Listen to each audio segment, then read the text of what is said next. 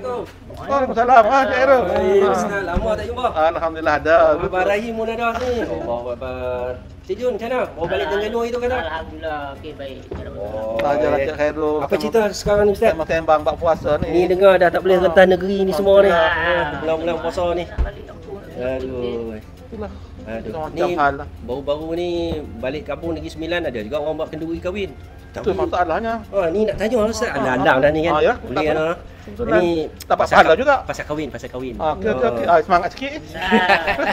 Ni dia. Ni di batai kan. Ha. Kahwin banyak batai kan. Ah. Dia ni kata bulan Ramadan ni macam kira kata. Ah, itulah tu.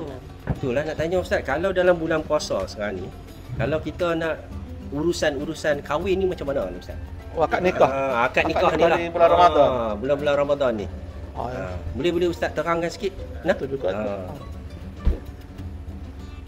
Assalamualaikum warahmatullahi wabarakatuh. Kita bagi salam lah.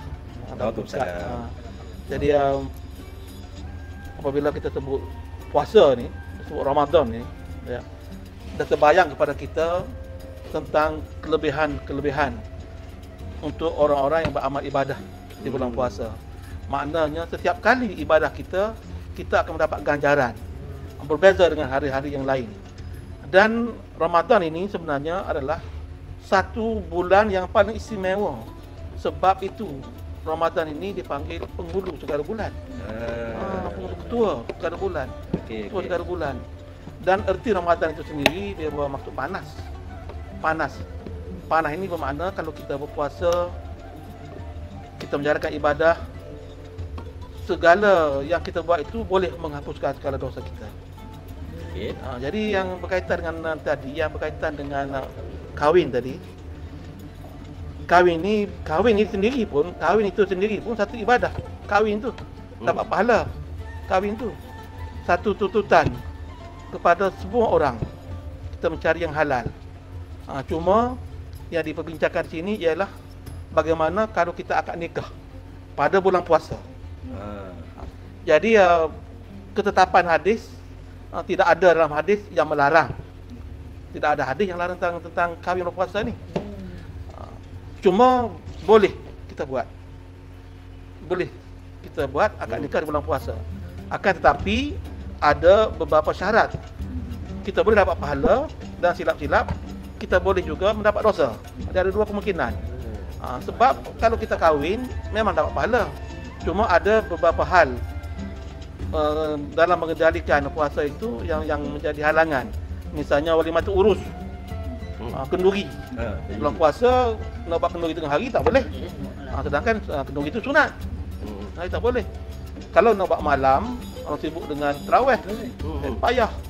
Tapi kalau kita buat tak ada masalah, akad nikah tidak ada masalah. Tapi hubungan suami isteri walaupun halal ada hal-hal tertentu yang memang Islam larang.